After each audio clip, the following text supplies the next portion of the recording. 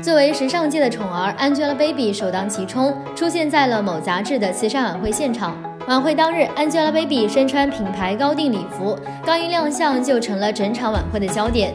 从照片来看，三十二岁的 Baby 皮肤光洁，毫无瑕疵，整个人白到发光。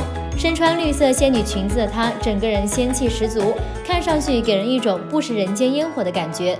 据了解，Baby 当时所穿的礼服来自某品牌的秋冬高定。作为2021年的新款礼服，Baby 是全球上第一个穿到它的人。蓬松的薄纱，繁琐的刺绣，大胆的配色，这样的衣服如果穿在别人身上，也许会杂乱无章，但在 Baby 身上却看上去仙气十足。模特出道的她，不论身材还是颜值都很拔萃，因此 Baby 也拥有了高定礼服随便穿的特权。